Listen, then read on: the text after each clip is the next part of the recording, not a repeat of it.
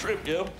Do you, do you need help? What did he do to it? Did he break it? He was... Gotta get out of it. Shit. You gotta, Dad, you gotta put one in I got it, I got it.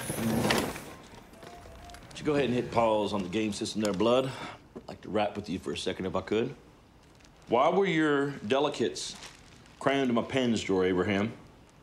It's not what you think. Seems to me it's exactly what I think. It's crusty and crinkly and discolored.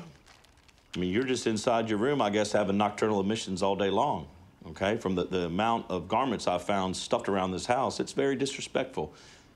Abraham, let me ask you a question. Do you know what really happens when a boy does the stuff to himself to, to make the cum stuff into the underwear?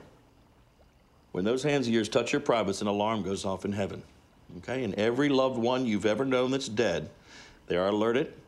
They float to where you are, they join hands, and they watch you be dirty to yourself. Like grandma? Yep, she watches.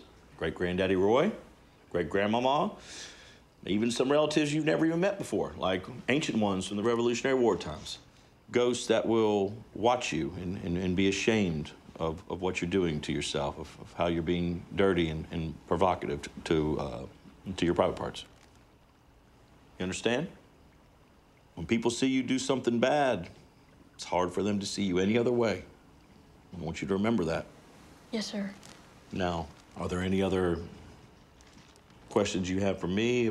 Birds and the bees, morning woods, peckers, anything that you want to discuss or ask me about?